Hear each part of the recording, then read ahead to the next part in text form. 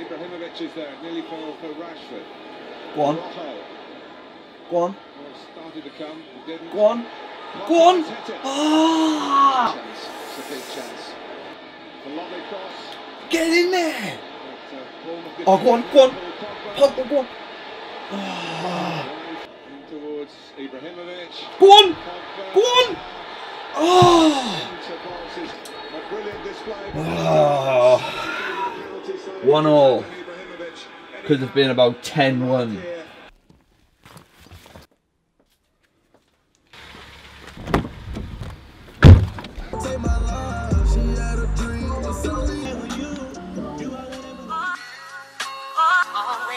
Play R. Kelly.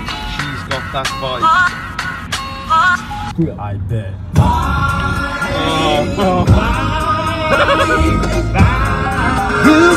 Yeah,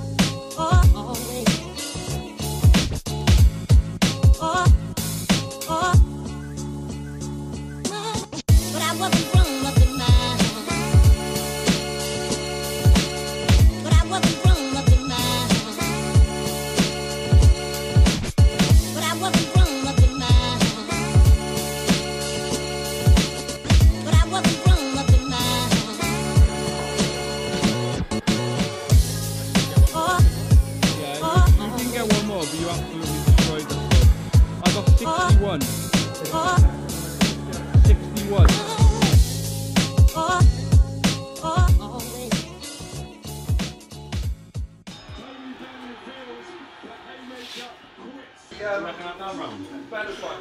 don't know. Bellew knocked him a few times and wobbled him, but seemed pretty even, really.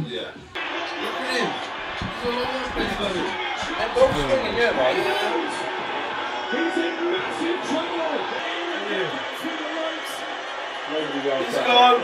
He's gone. That's him. Oh, through the toe!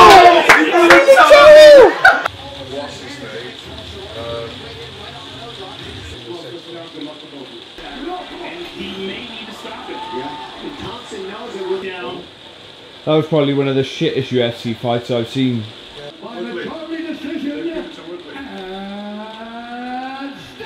What? That is a joke.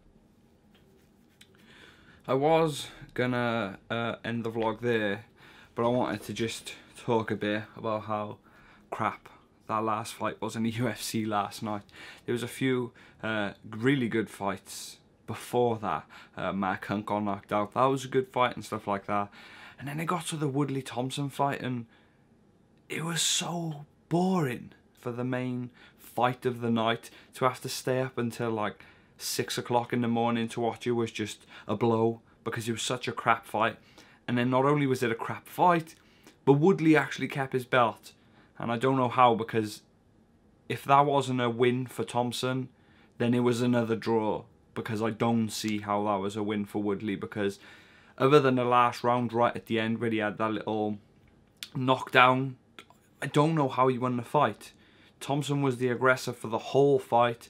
I stayed up until 6 o'clock to watch that. Getting annoying, I'm kind of getting bored of staying up until 6 o'clock in the morning now to watch the main fights be really boring and crap because people don't really care about entertainment or going out to win a fight. They're just like, I've got to keep this belt, so I'll just be restrictive on what I do. Oh, I can't believe I stayed up till six o'clock to watch that.